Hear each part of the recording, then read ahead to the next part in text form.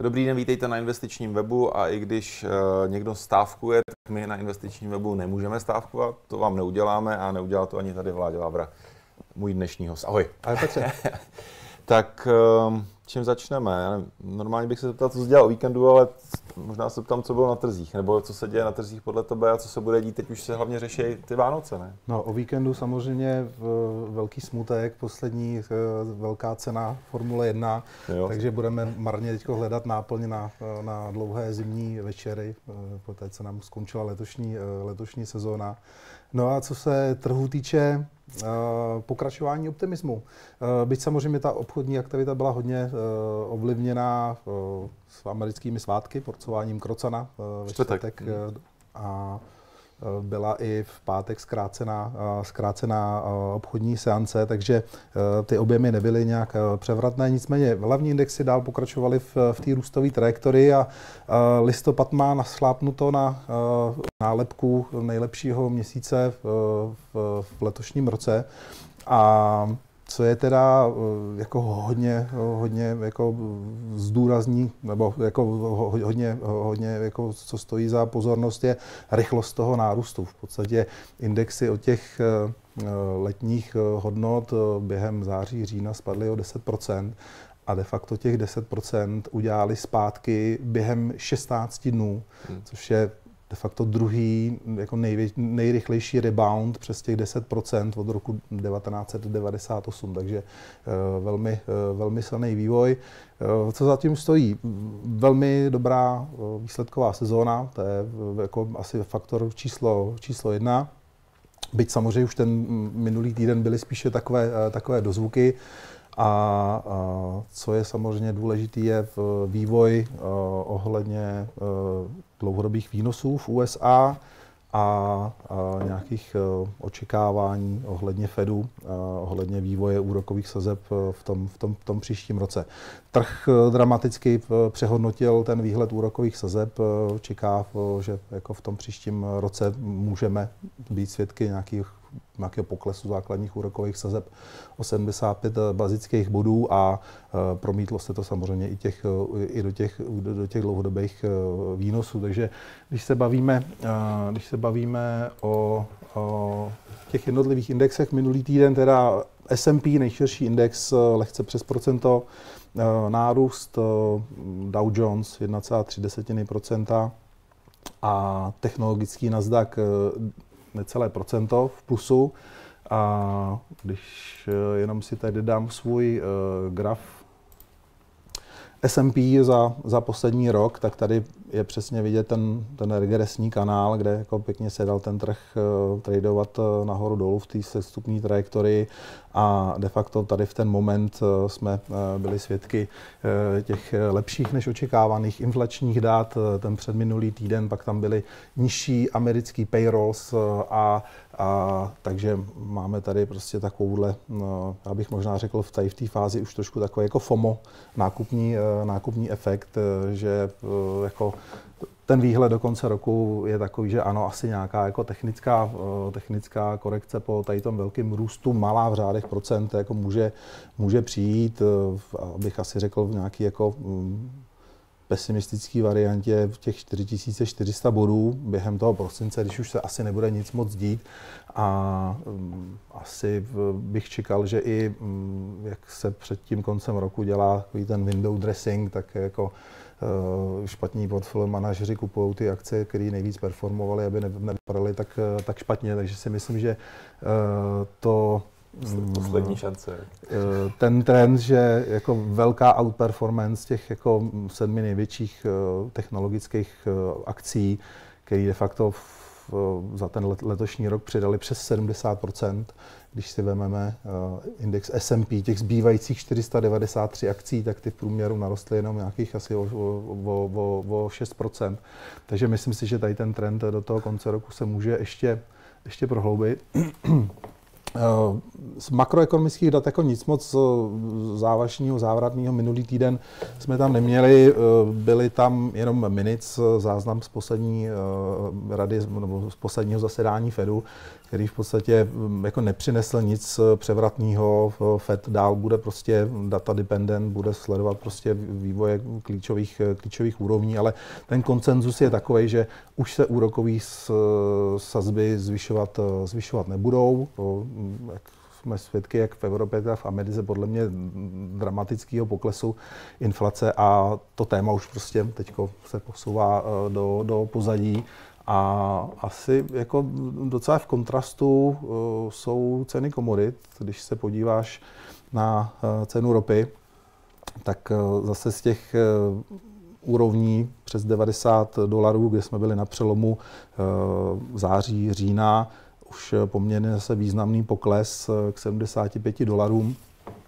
OPEC dokonce minulý týden Eh, posunul svoje, eh, svoje zasedání, eh, který mělo přinést jako další jako prodloužení těch, těch, to, to, toho snížení produkce. A to, že jako to odlo, od, odložili, jako trh vzal mm, jako znamení, že tam může být jako velká neschoda jo, že um, jsou nějaký schválený uh, kvóty prostě snižování produkce, které nejsou plněny úplně všema, uh, všema zeměma. Mluví se o Nigériu, Ange, o Angole, který, který ty kvóty uh, neplnějí a uh, v podstatě Saudská Arábie vyhrožuje ostatním, že, že prostě pokud oni jako nebudou dodržovat prostě do dohodnutý snižování produkce, tak ona přistoupí jako k navýšení produkce. A je vidět, že samozřejmě cena ropy je jak o poptávce, tak o nabídce. Eh, nabídka je víceméně už jako od, od, od eh, nevím, poloviny roku škrcená těma, těma, těma, tím snižováním eh, produkce. Je to v podstatě asi ta ropa není úplně jako v, v tom samotná, když se podíváš na vývoj těch jakoby základních komodit, tak jako trošku to kontrastuje s tím, s tím vývojem kapitálového trhu jo, který je v tuhle chvíli nastavený tak, že teda v příští rok eh, bude v USA eh, mírný hospodářský růst, nebude recese a úrokové sazby začnou, začnou výrazně klesat jak nám to tam problikává, tak doufám, že se, se nerozpí, nerozpíme. Ale zase na druhou stranu, když se podíváš, tak jako ano, ekonomika USA je o spotřebiteli, který nadál zůstává relativně jako silný, ale na druhou stranu ceny komodit, eh, takový ty předstihový, předstihový ukazatele, indexy nákupních eh, manažérů už v podstatě 18 měsíců ukazují jakoby eh, pokles. Takže jako nerad bych do toho příštího roku šel s nějakým jednoznačným názorem, které jsou jako relativně vysoko, nejsou drahý, asi je, potřeba říct, že mm, když se člověk podívá na ty valuace eh, do příštího roku, tak, eh, tak eh, S&P je zase na nějaké jako 18 násobku očekávaného zisku. Ale prostě bude záležet na, na, na prostě spoustu faktorů, aby, aby prostě ten trh šel dál nahoru a hlavně prostě jaký sklon ten, ten, ten růst, růst bude mít, takže spíš asi je potřeba mít připravený variantní scénáře. Na ty varianty se podíváme, protože jsme se možná i oba shodou okolností dívali na analýzu Goldman Sachs pro rok 2024, ta vás čeká možná za chvilku. Eh, jenom upozorním, že jste se vládi ptali na otázky, se dostaneme za chvilku, můžete se ptát také v rámci chatu a v mezičase dejte like a odběr. Eh, já jenom pár nějakých poznámek, čemu, co, o čem si vyprávěl, já jsem ti do toho nevstupoval, protože ty jsi to vlastně hezky, hezky uved a začal jsi teda, že není ta formule, abych řekl, není formule, ale, pustil jsem telku a byly tam už lyže. Víš, takže už jede světový pohár, takže zase dá se koukat na lyže, hned člověk aby někam vyrazil, i, i klasický lyžování. No a potom, jak jsi říkal to FOMOT, uh, tak já jsem nějaký statistiky, je pravda, že fakticky zapojil se hlavně retail v poslední době, na rozdíl a samotný, a samotný firmy, které odkupovaly akcie, ty velcí hráči ty, uh, nebo hedžové fondy třeba prodávali, tak to bylo jako zajímavý. Geopolitické uklidnění, ještě bych zmínil k minulému týdnu. Samozřejmě to přiměří na čtyři dny, tak uvidíme, jak to dlouho eh, vydrží. Jestli můžu ještě tady k tomu jeden, to byl údajně hlavní důvod toho, proč OPEC eh, posunul ten meeting, že jako v momentě, kdyby oznámili snížení produkce, v momentě toho jako dočasného uklidnění konfliktu, tak by to nemělo takový vliv, jako když to oznámějí na konci tady toho týdne, kdy končí příměří, tak jako zase mají nějakou šanci prostě s tou cenou ropy asi pohnout výš. Ano. Ještě tady si zmínil ropu, tak ještě jedna věc tam mě vyskočila, to tam vlastně uh, dával Lukáš Kovanda a pak uh, k tomu se i vyjádřil minister tady průmyslu, že jsme začali, nebo nevím jestli jak dlouho, vesele koupem ruskou ropu, zemní plyn, a jedna věc. A druhá věc, pak uh, takový dvojí standard a pak najednou Pekarová se objeví jako v Kijevě. Víš, tak si říkáš, že to jako Eh, že to financujeme, zase hmm. spolufinan... Nejsme sami, jako tohle ten dvojí standard, jako je v Evropě uplatňovaný jako na, na, různých, na různých polích, tak jenom je tak trošku smutný, no. tak, hmm. když už jsme u té ropy.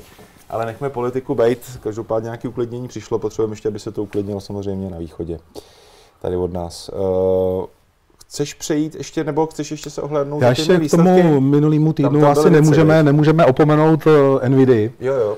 která zase s těma zveřejněnýma výsledkama um, předčila veškerý, veškerý očekávání. Já mám tady uh, tabulku, uh, tak jako přehled uh, tržby za třetí kvartál 18 miliard uh, dolarů. Mezikvartální nárůst 34%, year on year nárůst o 200%. Taženo předa, především teda jako datacentry, zase ohromný jakoby, meziroční nárůsty a i v podstatě jakoby problematická divize gamingu, která jako potom, co vystřelila během covidu, ten jakoby, část loňského roku a první půlku letošního roku neměla moc eh, dobrý výsledky, tak tam vidíme taky jako mezikvartálně i meziročně eh, velkou dynamiku. Eh, marže, pro hrubá provozní marže 74%. Jo, prostě je to něco nevýdaného, to je prostě pro mě jako největší fail, že jako v letošním roce, že jsem jako nebyl nějakým skupen akceptovat to, že jako jedny výsledky, kdy v podstatě společnost zdabluje výsledky hospodaření v jednom kvartálu, nemůže být následovaná dalšíma dvěma takhle excelentníma kvartálama. Nicméně, zase když se podíváme na tu reakci, uh, uh, jedna, která byl tam trošičku horší výhled, uh, nebo výhled na poslední kvartál byl trošku jako zakalený těma problémama s, se sankcema vůči, vůči Číně. Na konferenčním hovoru vyšlo najevo, že v podstatě v těch datacenter nějakých 25-20% revenues pochází z Číny, takže tam ve čtvrtém kvartálu dojde k nějakému zpomalení ale eh, mělo by to být vykompenzovaný eh, nárůstem příjmu právě z, z dalších jako geografických, eh, geografických lokalit. Ale když se podíváš na tu reakci, tady jsme měli zveřejnění výsledků za druhý kvartál, nádherný čísla, víceméně profit taking dolů. Jo. Tady zase jako v očekávání dobrých čísel, dobrých čísel. Hmm. ten stok zase udělal jako přes 20% před zveřejněním výsledků a de facto od zveřejnění výsledků jako mírný, mírný pokles. Takže jestliže se bavíme o tom letošním nárůstu uh, indexů, uh, tak na úrovni hlavního indexu ty nárůsty třeba na tom Nasdaqu jsem slyšel, že na 15% je atribuováno nárůstu ceny ceny akcí Nvidia. Takže to je takový jako důležitý jako lakmusový papírek toho, toho technologického uh, trhu, jestli tady to je opravdu jenom profit taking uh, toho, toho, toho nárůstu před těma, před těma výsledkama, a nebo jestli prostě opravdu, jako jsme viděli, to maximum tady už uh, v, v, vlastně během, během konce, konce léta a po takhle velikánském nárůstu, jestli prostě už nejsou nějakým způsobem krátkodobě eh, ty, eh, ty dobrý očekávané výsledky eh, v, v té ceně akcí zohledněný. Jo. Je to samozřejmě, jako když vidíš akci, která ze 150 dolarů naroste na 500 dolarů, jako je těžko jako pro jako newcomera do, na těch úrovních do toho, do, do toho vstupovat teď je prostě zřejmý, že jako ta AI je opravdu zlomová, zlomová, zlomová technologie, která, kde v podstatě v segmentu mm, těch čipů pro datový centra NVIDIA má, má monopol a jen tak ho někdo prostě nezvrátí, ale pořád si myslím, že je to ohromná hromada peněz, který prostě, jo, ohromný koláč, ze kterého potenciálně můžou konkurenti, eh, konkurenti okusovat, takže já asi prostě budu, budu srap a v tuhle tu dobu, než jako na v těchto úrovních kupovat NVIDIA, tak eh, asi bych spíš třeba vsadil na, na AMD jako možného jako disruptora, eh, konkurenta, který by potenciálně část toho jejich koláče mohl v, v tom příštím roce, příštím roce ukousnout. To víš, Nvidia, uh, píčko 114, a takhle, když to je za 5 kg, to už by bylo tak na štěpení, ne? To už je ta akce docela drahá. Hmm. Ale to zase štěpení by mohlo jako být pozitivní, jako skoro si říct. Víš, jako, že na venek se to zlevní. Eh, je to tak, ne? Nebo tak jako jo, filozoficky jako, uh, by tohle to mohlo pomoct. Tak uvidíme, co bude dál.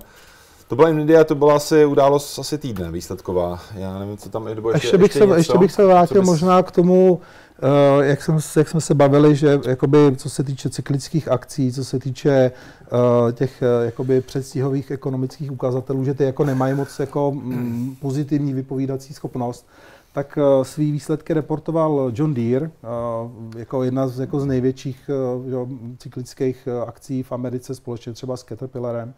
A Eh, jako jednak výsledky trošku horší, ale jednak jako velice jako slabá guidance na příští rok, jo, že, že prostě u takové velké společnosti, když vidíš očekávání v hlavních dvou, třech jako segmentech jejich prodejů, očekávaný meziroční pokles, eh, jako dvojciferný číslo přes, přes 10%, tak to pro mě taky jako je signál, že, že jako mm, nejsme úplně prostě v té v fázi, toho, toho bojarýho růstu a, a i tady to bych možná bral částečně nějaký jako indikátor toho, že Zpomalení jako, ekonomiky globálně. Že, že, že prostě hmm. ta globální ekonomika zpomaluje.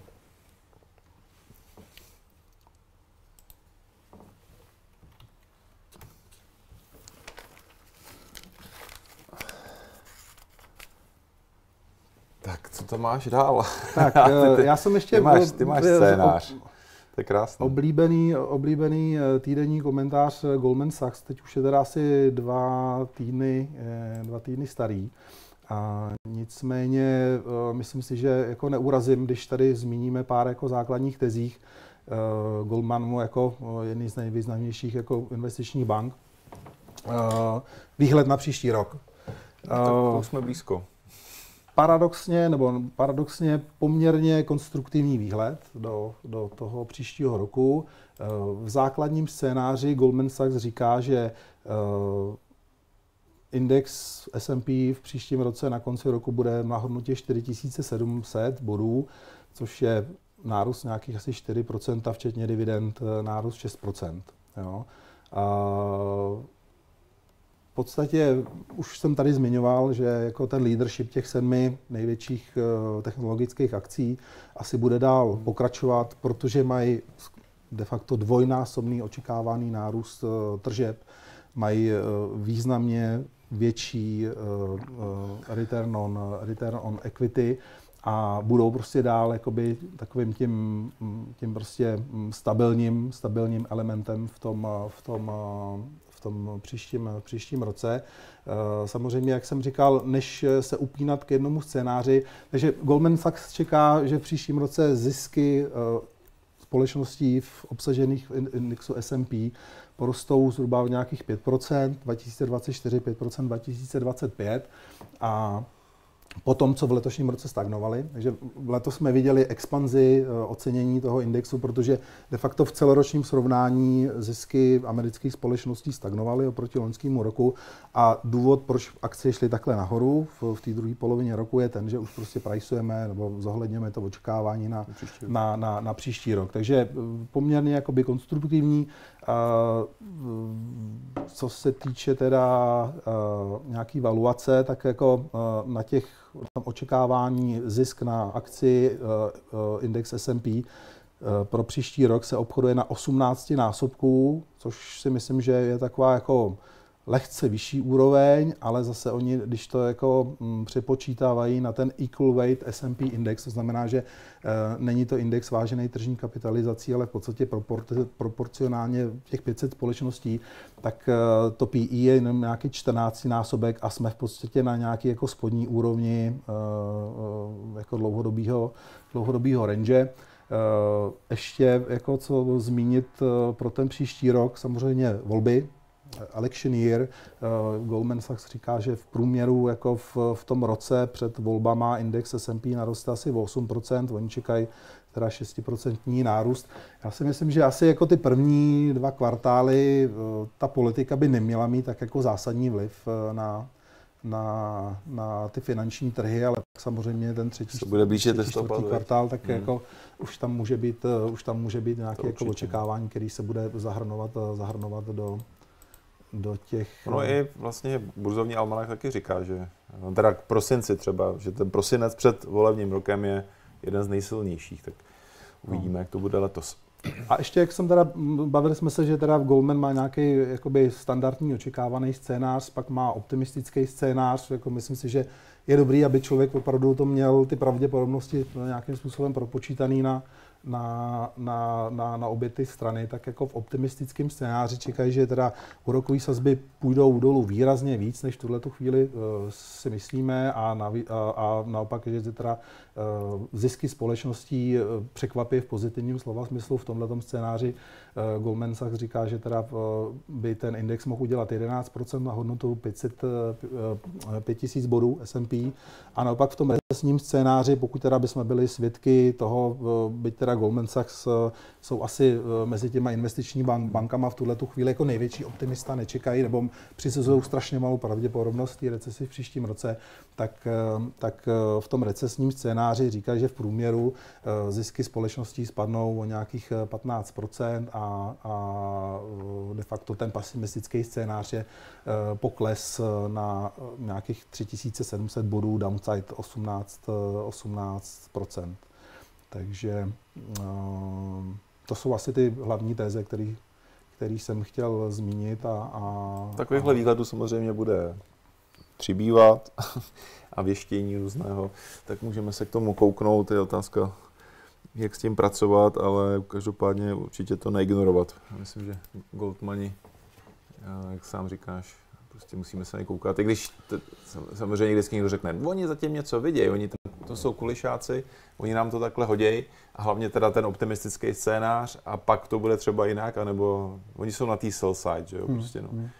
Tam, ne, opravdu bude no. jako hodně to o, o těch jako úrokových, úrokových sazbách a já byť eh, třeba vnitřně souhlasím s tím, že, pardon, už mi trošku začíná vynechávat hlas, není to tím, že bych byl včera na pivě, ale, a, ale jsem trošku ještě nachlazený minulýho týdne.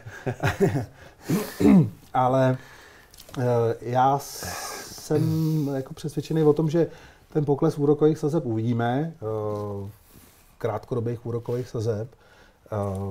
I v České republice, myslím si, že jako tam tím, že my jsme přece jenom v tom cyklu o něco napřed, možná bych řekl jako o rok a, a něco napřed, tak eh, tam si dokážu představit, že opravdu z těch 7% se dostaneme pod, eh, pod 4%, ale jako upřímně nejsem úplně přesvědčený o tom, že bychom měli vidět nějaký jako dramatický propad těch, těch dlouhodobých výnosů.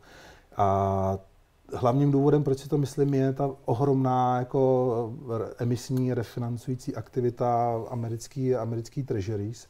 Já jsem slyšel, že snad by to mělo být v objemu jako nějakého dvojnásobku. V příštím roce jako maturují bondy v objemu dvojnásobku toho, kolik se v letošním roce emitovalo těch, v těch, těch, těch dalších splatnostech. A já si myslím, že ta nabídka dluhopisů bude držet ty dlouhodobé uh, úrokové sazby jako relativně vysoko. Jo, takže já si myslím, že spíš prostě ta, eh, ta výnosová křivka bude jako fletovat, že ty, že ty dlouhé úrokové sazby nám, nám taky jako klesnou, ale ne tolik v proporci, tak jako hmm. ty, tak jako ty krátkodobí, krátkodobí e, sazby. A teď otázka, jestli začnou klesat dolů nějakým způsobem jako výrazněji, tak samozřejmě jako spíš to bude asi znak toho, že se v té ekonomice děje něco neúplně jako žádoucího z pohledu ziskovosti společnosti, z pohledu uh, růstu, uh, růstu HDP. Takže si myslím, že takový jakoby mm, jako zá, základní scénář, že ty úrokové sazby dlouhodobí zůstanou někde mezi těma 4,20, 4,50 a, a že teda ten pokles spíš uvidíme na těch, na těch krátkých, krátkých úrokových sazbách. Každopádně budeme dál sledovat tady oblíbený graf, co tam máš, desetiletý eh, z amerických státních dluhopis a, a respektive jeho, jeho výnos. Uh, možná, když jsme otevřeli ty dluhopisy, tak jak se díváš na to, samozřejmě se skloňuje, jako, že nejlepší vlastně sázka na 24 budou bondy, že prostě, prostě sazby budou dolů a, a bondy musí jít nahoru. Asi, asi ano, a teda otázka jaký, asi spíš ty krátký, jo, teda ten, než třeba tyhle ty dlouhý, jo. Ale tak jako, tolik bavíme se o tom, že asi se shodne, nebo koncenzus na tom trhu je teď, hmm. že ten vrchol jsme viděli. To znamená, když si hmm. koupíš eh, ten dlouhodobý dluhopis, tak si myslím, že pořád tam budeš mít nějakých jako 4, 4,5% eh, jako uzamknutý výnos, když to budeš držet eh, do, do splatnosti. A když se teda bavíme o tom, že třeba jako v základním scénáři Goldman Sachs očekává 6% nárůst indexu S&P, tak prostě máš jako volatilní akcie oproti dluhopisům, lehce nižším dluhopisům mínusu. Jistým. Tak prostě myslím si, že hmm. opravdu ty dluhopisy budou nějakou jako preferovanou třídou, třídou aktiv a ty akcie, já si spíš myslím, že to bude o tom, o tom jako aktivním obchodování. Jo? No prostě když si vemeš jako tohleto vysedět, jo, to je zase index S&P v letošním roce z toho maxima z přelomu července, srpna 10% dolů, za měsíc ani ne, zase jako 10%, 10% nahoru tak eh, jako, mm, jako myslím si, že jako dává to prostor pro to aktivní obchodování a než být prostě tupě nainvestovaný eh, v trhu, v indexu a doufat, že budu mít příští rok nějakou jako nadprůměrnou, nadprůměrnou výkonnost, tak spíš si myslím asi, že bude to víc o tom jako taktickém obchodování. A, a tady třeba já mám docela jako, použi, jako hodně používaný ukazatel jako tržního momenta, mm. který v podstatě říká, že jako v hodnotě vždycky, když tady to číslo jako naroste k té devíce, desíce, tak by se ten trh měl jako otáčet.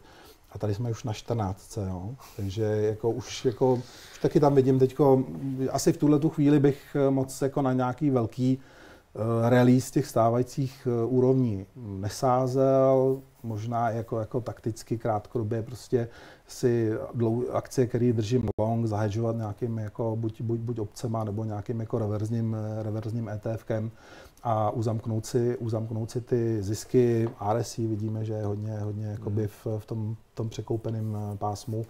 A spíš si myslím, že to prostě bude o tom, o tom aktivnějším obchodování. OK. Co Čechy?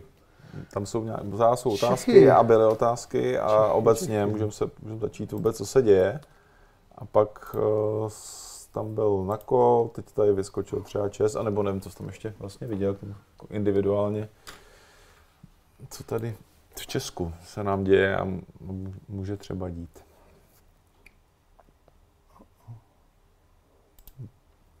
Že se nám to podaří otevřít. Tady mám zatím připravený výsledky koutu ještě. V té týdenní bilanci v tom minulém týdne Eh, víceméně lze mluvit o tom, že jsme tam měli pokračující leadership eh, těch, eh, těch bank. Index teda ne, ne zaznamenal nějakou jako dramatickou, dramatickou jako pozitivní, negativní změnu, jenom asi 3 desetiny procenta v tom minulém týdnu. A do plusu teda Kofola, k tomu ještě se vrátím. Mm-hmm. Komerční banka Moneta, Erste v plusu a naproti tomu teda v, výrazně v mínusu ČES a výrazně v mínusu Colt. U Česu eh, pokračující, řekl bych, vybírání zisků a ve středu zase parlamentní výbor eh, odložil to projednávání toho zákona Lex ČES o té přeměně obchodních společností, který nějakým způsobem vládě umožňoval s naší eh, mm, jako rozdělení společnosti, schválení toho rozdělení. Takže samozřejmě ne úplně jakoby silný jsou ceny elektřiny, to je jako další jako důležitá, důležitá proměna. Ale říkám, spíš si myslím, že to jsou nějaké jako nenaplněné očekávání, že možná na tom trhu byla skupina investorů, kteří sázeli na to, že k tomu rozdělení dojde a stát bude nějakým způsobem ochoten zaplatit prémii a to vypadá, že teď asi prostě není, není, jako na, pro, na programu dnes těch jako signálů, který vysílá vláda.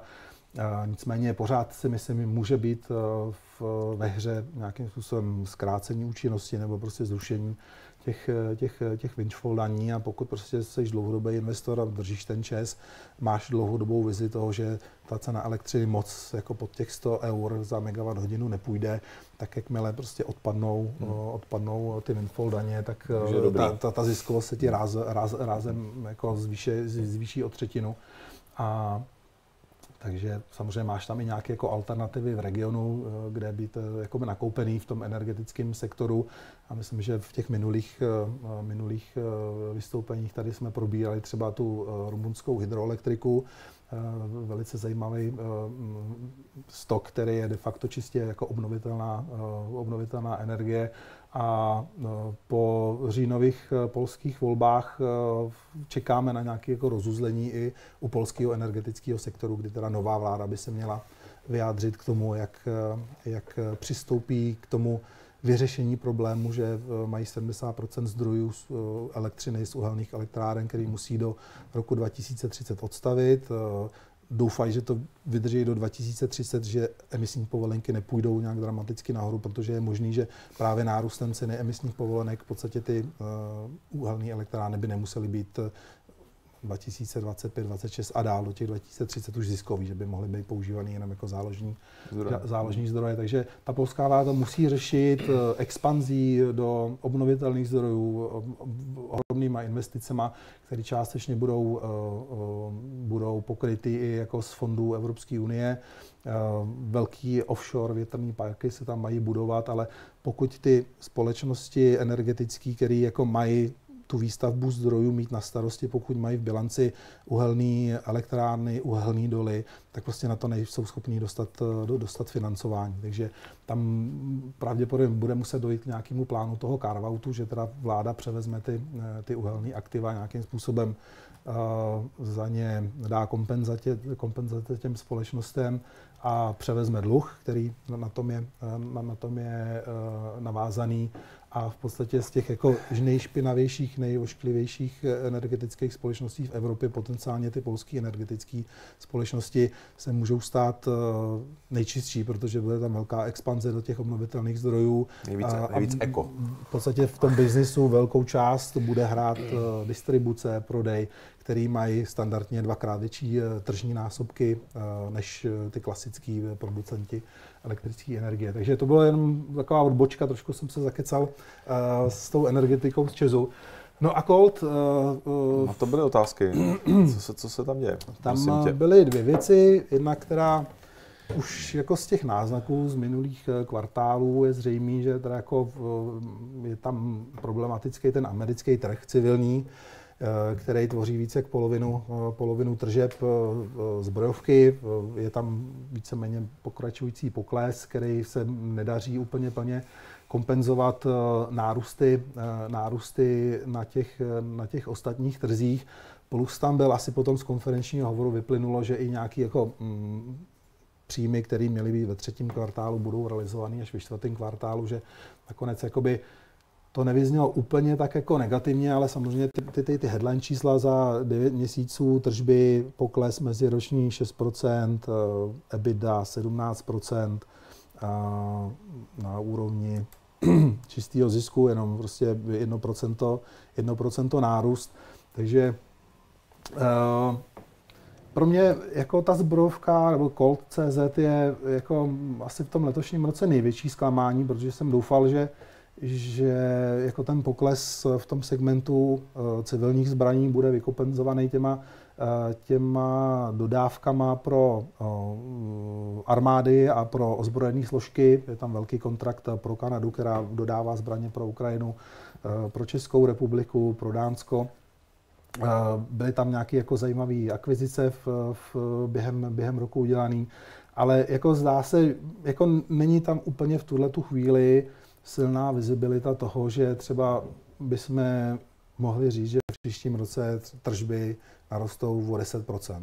Jo? Že prostě to bude v tuhle tu chvíli ty analytici, jaký mají informace, tak v podstatě jako, když hmm. to bude na úrovních z letošního roku, tak, tak asi, to bude, asi to bude úspěch, takže... Management neříkal nic o výhledu, jo, tady, no, na 24. Jako snažili se nějakým způsobem jako působit sebevědomě v tom, že dojde k prodloužení nějakých těch rámcových kontraktů od těch, od těch armád. De facto eh, v továrna v, v Uherském Brodě má vybukovanou kapacitu, eh, jestli si dobře pamatuju, na nějakých 7 až 9 měsíců dopředu. Jo. Takže oni jako vyrábějí, ale mm, jako jsou strašně jako nekorektní, ne, ne, nekonkrétní, ne nekorektní v tom aby, nevím, jestli to je prostě nějakým způsobem i jako cílení, jako, mm, že nemůžou říkat úplně všechny informace, ale myslím si, že ten chtěl prostě slyšet víc uh, oproti, oproti... A proto ta reakce? No, uh, ono ve finále úplně ty výsledky byly přehlušený tou akvizicí oznámenou uh, společnosti Vista Outdoor. A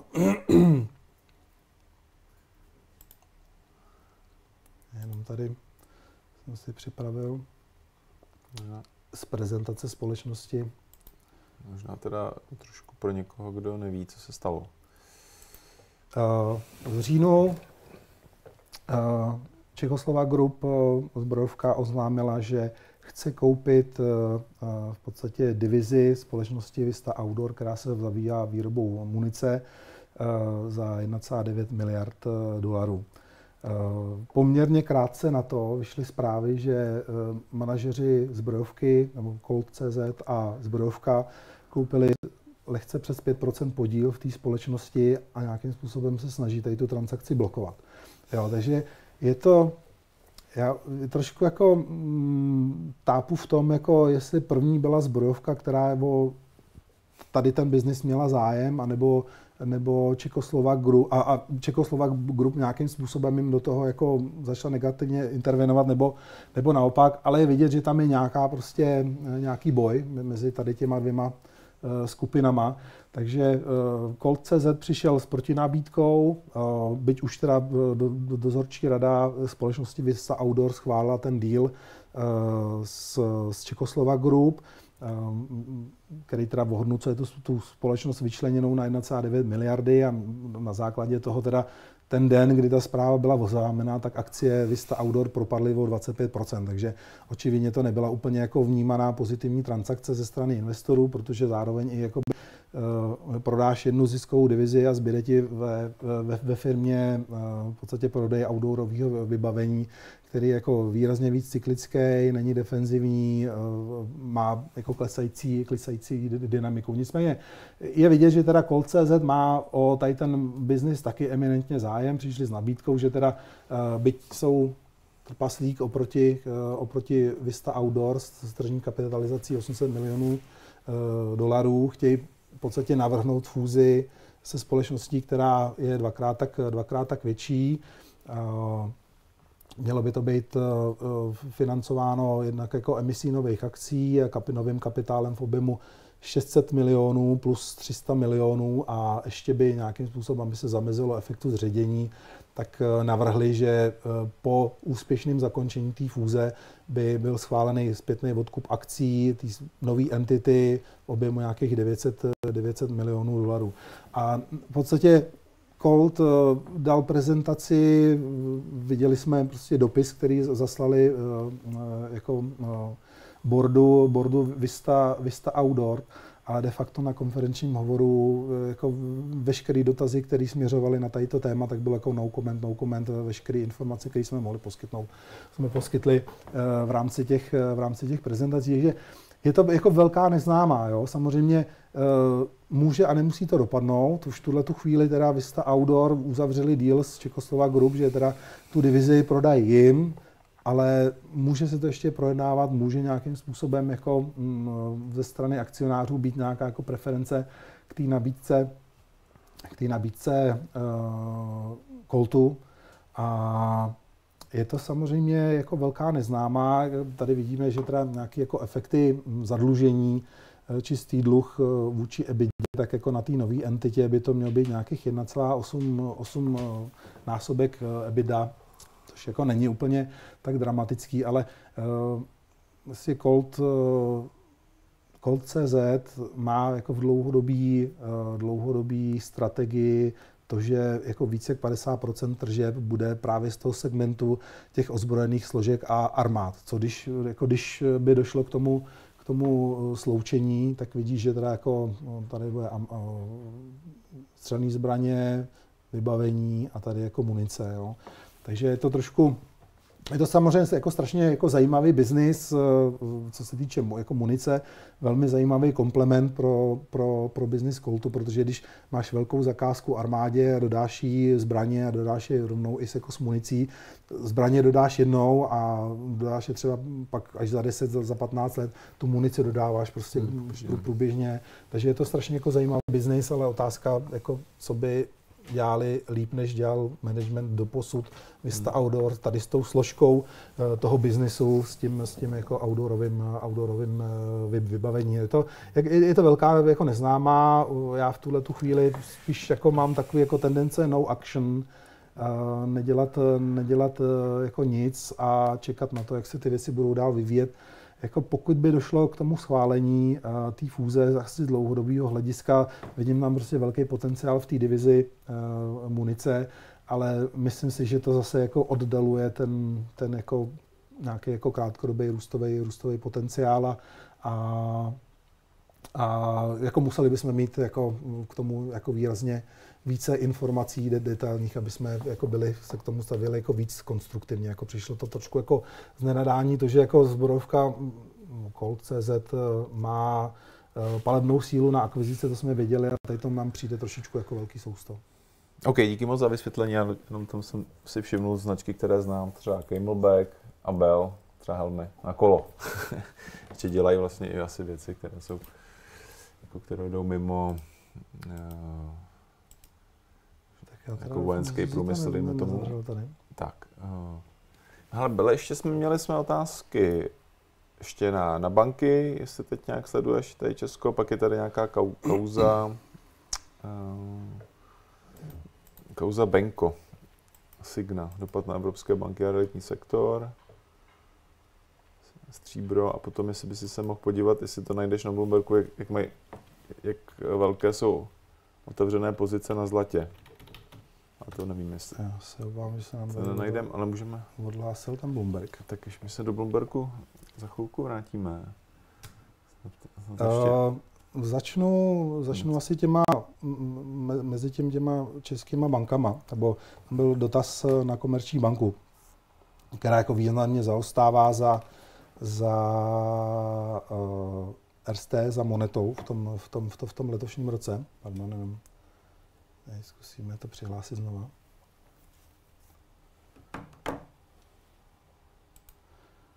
A tam je prostě potřeba si uvědomit to, že uh, ano, v letošním roce Komerční banka významně zaostává za monetou a za RST. Eh, je to samozřejmě dáno trošku jako dynamikou uh, ziskovosti, ale je to zároveň,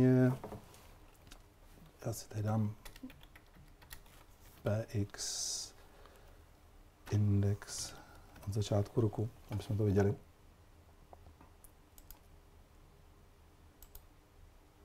Jo, takže komerční banka s nárůstem 4,7%, moneta 20%, RST 21%. Je to jednak daný teda eh, tím, tím eh, tou jako lepší dynamikou ziskovosti, třeba v případě, v případě RST. Na druhou stranu, ona je potřeba si uvědomit, že do toho letošního roku komerční banka vstupovala s poměrně jako velkou srovnávací základnou. Tam, jestli si vzpomínáš, eh, eh, loni v prosinci byla vyplacená mimořádná dividenda, v podstatě nevyplacený dividendy za ten, za, za, za, COVID, za ten COVID. Takže ona byla jako poměrně eh, dost vysoko v porovnání právě s RST. Když se podíváme jako třeba na ten horizont aspoň jako dvou, dvou, tří let, máme dva,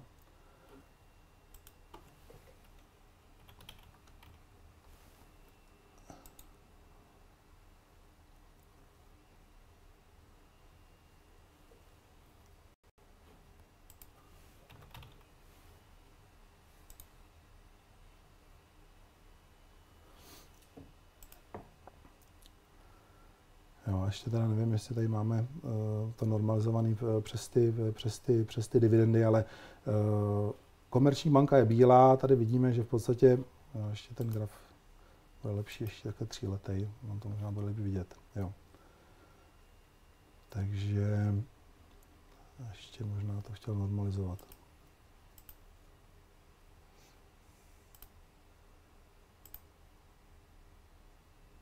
Jo, takhle to vypadá už líp. Takže komerční banka bílá, tady je vidět, že prostě z těch eh, loňských propadů ona byla nejsilnější a naopak v letošním roce víceméně stagnovala, zatímco Erste Moneta dál, dál pokračovali v tom růstu.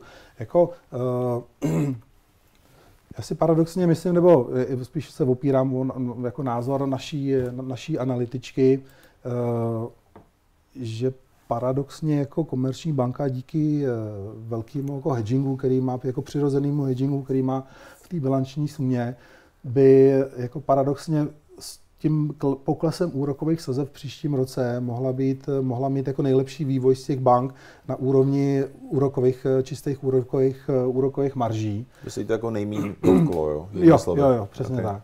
A tam, tam jde o to, že jsou, jsou tady jako malé banky, takový ty, jak se říká, challenger banks, který využili tady těch jako vysokých úroků k, k nabrání jako vysoce úročených, vysoce úročených kladů s tím, jak eh, budou ty úrokové sazby v příštím roce klesat, tak jakoby eh, ty banky si myslím nebudou muset ty klienty o tolik jakoby přeplácet, tolik usilovat o, o ty vklady, jak, jak tady v tom období, kdy prostě sazby byly 7, 7%. A když se podíváš teda na nějaké jako ocenění, tak eh, komerční banka se obchoduje zhruba 1,2 tangible book value, price tangible book value, což víceméně jako je pod většinou těch, těch polských, polských bank.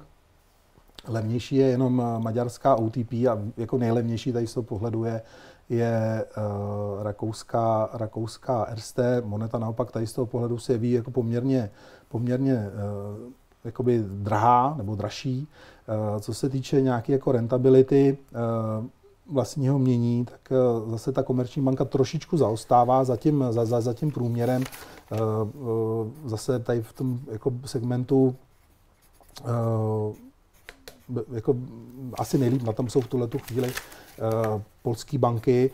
Má naopak nadprůměrný dividendový výnos a co se týče toho, toho, toho ocenění na úrovni price earning, price earning ratio, tak jako každá ta banka má nějaký, jako, nějaký ty banky mají prostě nějaký specifika. No, asi bych neřekl, že, že jako medián PE ratio středoevropských bank 7, 7 násobek je takhle nízký, ono tam asi hodně zkresluje právě RST a, a, a ta, a ta, a ta, a ta OTP banka. Ale chci tím říct, že jako valuačně mi to jako nepřijde špatný.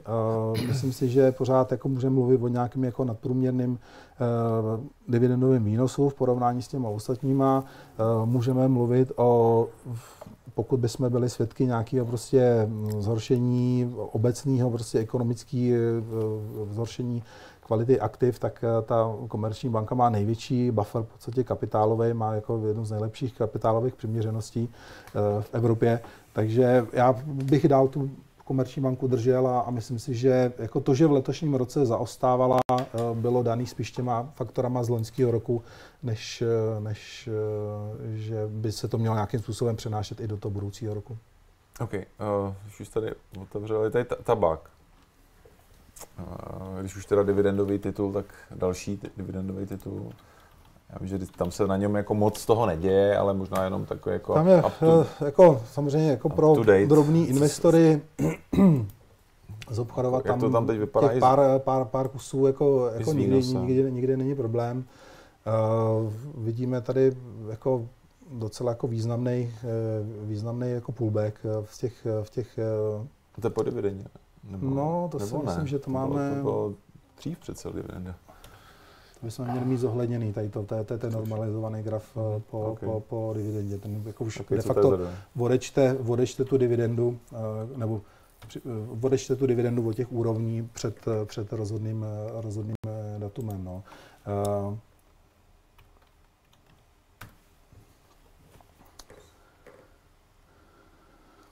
tady bohužel nemáme moc čísel, co se týče jako to je takový odhadů problém, analytiků. Že se, že se to, to moc nepokrývá tady. A, asi trošku undercovered. Ale dividendový výnos v této chvíli jsme schopni a... říct.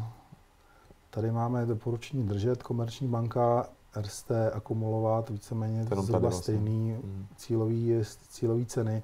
Jako mývá ten Philip Morris takový jako roční cykli, eh, cyklus, že vždycky já mám rád jako na to kouknout ke konci roku, když už jako nikdo nemluví o té dividendě, ale ona zase bude za čtyři měsíce. Já si myslím, že uh, potenciálně jako uh, asi jsme tam měli nějaký jako teďko trošku negativní zprávy toho, že přestali prodávat nějaký ty, ty, ty náplně, uh, náplně mentolový, že to může nějakým způsobem mít jako negativní vliv na, na, ty, na ty tržby, ale tady je odhad dividendy nějakých 1350 korun na, na, na jednu akci, takže jako z toho pohledu... Za letošní rok, jo? Jo, pro, pro rok 2004 vyplacená. Hmm. Takže ten dividendový výnos je pořád eh, jako někde kolem těch 8% a, a je to takový prostě komplement do toho, pokud prostě investor nemá nějaký uh, svoje interní omezení, že syn stoky uh, nechce ve svém portfoliu, tak si myslím, že to takový jako standardní držák a možná i v rámci toho roku ta, ta, ta cykličnost tam může hrát roli a, a vlastně od toho ledna by se tam zase měla nějak začít načítat, eh, načítat ta dividenda, která většinou to eh, rozhodní datum eh, bývá někdy jako ten duben, duben, květen je to v podstatě jeden z prvních, z prvních akcí, jedna z prvních akcí. A takže teď je to po nějaký takový korekci, to vypadá. Jo, takže jo. vlastně otázka je, jestli kdy nakupovat dividendovou akci, tak po korekci proč ne? A druhá věc je to, že samozřejmě, eh, když měl tady nějakým způsobem x let úrokový sazby 7% a dividenda, i když třeba zisk té společnosti ti nějak dramaticky neporoste, bude mít eh, ty výsledky stabilní, konstantní, budeš diskontovat eh, dividendu příští rok eh, sazbou, která bude výrazně nižší než, eh, než těch 7%, taky to by mělo mít teoreticky pozitivní vliv na tu, určitě, na tu, určitě. Na, na, tu, na tu valuaci. Zapomněl zmínit. Tak, v Čechy necháme asi chvilku bejt a ještě tady bylo prostě něco na nějaký čísky. No, asi ten, ten, ten, ten Bayer. Bayer na, na, to, na to se tady lidi ptali už nějak minule, my jsme nějak to zrovna vyšla ta zpráva, že řešili teda řešili, kolik budou platit. No, to je, to je prostě... A pak uh, se na to lidi koukali, jestli to není příležitost potom v obrovském nebo velkým propadu no. vlastně se do toho vracet. Tam byly eh, dvě věci, jednak uh, třetí po sobě jdoucí v řadě negativní rozhodnutí v těch, v těch jako soudních sporech ohledně Roundupu v, v Americe. Bayer už jich devět vyhrál, ale teď jako tři od léta po sobě jdoucí Eh, tam bylo jako negativní rozhodnutí. Eh, Bayer na ty eh, soudní spory v podstatě vytvořil rezervy, a jestli si to dobře pamatuju, jakých 16 miliard dolarů ekvivalent, čeho už 10 vyplatil.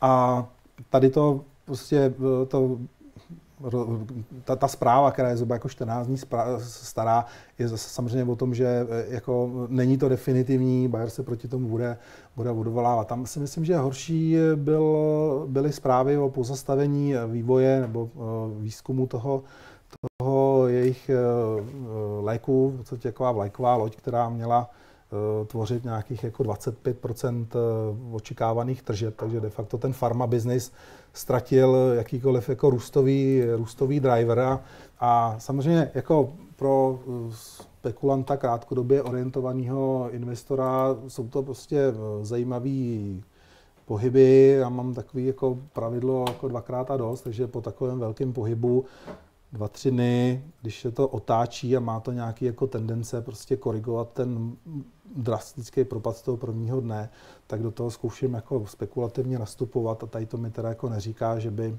tam byla nějaká známka, známka života. Myslím si, že teda jako budeme svědky hodně dramatického přehodnocení těch, těch, těch výhledů Bayeru pro letošní a příští, příští rok a nemyslím si, že jako je tam jako eminentně nějaký jako králík v klobouku, který by management mohl, mohl vytáhnout možná jako levnější ceny, ceny energií, protože je to taky jako hodně energeticky náročný, náročný biznis, ale mm, jako asi bych tady spíš byl v roli pozorovatele. Ještě jedna akcie na B. Ještě jedna? Jedna akcie na B, baba. Ah. To byl vtip, já jsem, já jsem ne, nepoznal, že si udělal vtip. No, protože už jedeme hodinu a možná už ty vtipy... tak, a ty už taky nemůžeš moc mluvit, tak tě, nechci tě úplně tady dneska zničit. No, Alibaba poloviční valuace oproti čemukoliv jinému srovnatelnému v tom, v tom e-commerce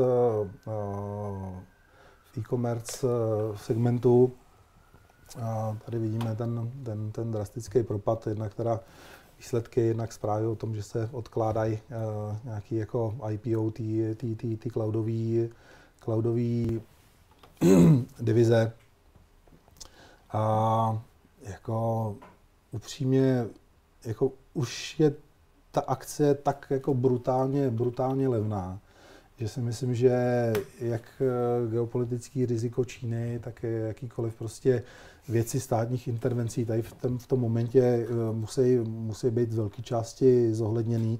Když se podíváš na ten biznis, jako pořád tam je nějaká jako růstová, růstová trajektorie, jo, jako skoro dvojciferný, eh, vyšší jednociferný růst na úrovni tržeb, provozní zisk jako dvojciferný růsty.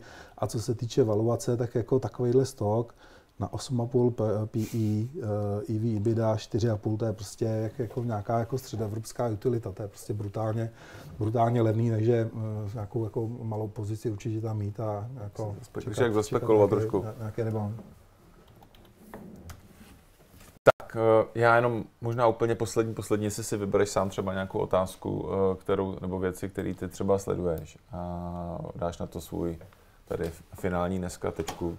Jestli jsme na něco, ne, když tak to scrolluji celý dolů, jestli jsme něco zapomněli, nebo jsou věci, na které už dneska není čas, tak se k ním vrátíme asi při dalším streamu investičního webu. No. Ale já to ještě nechám Vláďu trošku si pohrát. Vidíte, že... No asi, asi, asi bych eh, si vybral ten, ten, ten, ten plak, jako to je taky jako hodně jako často no, diskutovaný. Včera, nebo minule, minule jsme se na to tady tenkrát koukali po těch výsledcích ještě s Lukášem. Ale od té doby taky se něco i stalo, nestalo. Že? Eh, společnost jako management konstantně nedeliveruje. To, co prostě řeknou, jakýkoliv dají výhled celoroční, prostě eh, rok co rok, eh, rok co rok neplní. A i jako upřímně i jsem se na tu společnost trošku jako během října jako detailně začal koukat. Když se člověk pustí nějaký jako YouTube videa s, s, s CEO společnosti nebo když si eh, otevřeš na Investors Relations jejich jako aktuální, eh, aktuální investorskou prezentaci s to stránkou, s, prostě s ohromnýma, s ohromnýma jako těma eh, grafama, jak, jak jako se budou jako násobit budoucí, budoucí, budoucí příjmy. Jako, uh,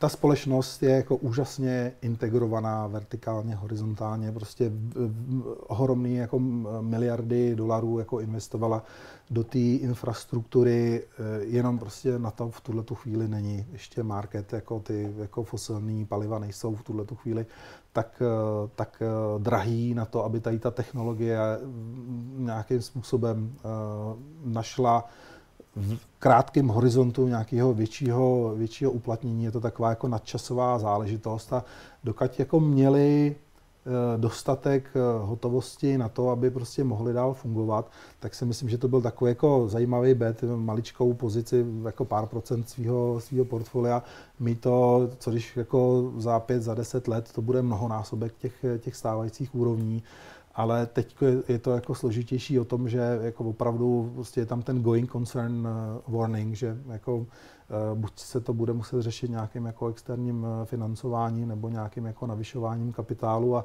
a zase je to takový jako případ, kdy já teď nevidím jako v nejbližších uh, měsících uh, nějakou jako, nějaký světýlko na konci tunelu, že by se to, že by se to mělo otočit. Jako, ano, jsem prostě fanda obnovitelných zdrojů, uh, koupím si tam maličkatou pozici, kterou když jako ta společnost jako zbankrotuje nebo bude muset projít nějakou jako restrukturalizací, kdy ty akcionáři pravděpodobně jako moc jim tam z toho nezbyde, když tomu dojde, takže to nebude bolet a, a když se jim podaří prostě tady tím těžkým obdobím eh, projít, tak eh, fakt eh, jsem přesvědčený o tom, že to může být jako mnohonásobek té stávající tržní hodnoty, ale teď to tam zase prostě jako pravidlo jak jsi říkal, ještě u toho to Bayernu, jako, že to, to aplikuješ taky, plus minus. Takže plak teda zatím pozoruju. Já si myslím, že už přes hodinu eh, tady dostáváte zajímavé investiční informace tady od vlády. Poprosím o like. Já moc děkuji, že jste tady vydržel, i když eh, už se ti teď ke konci těžko mluvilo. Musíš, musíš mě trošku krotit, Petře. Já, já vím, ale to, to, já musím tady krotit diváky, vy, vy si nedáte pokoj a posíláte tady otázky a víte, že vládě jako eh, prostě je poctivý a snaží se všechno odpovědět. Ještě jednou díky moc. Díky za pozvání. Naschledanou. Mějte se krásně, naschledanou.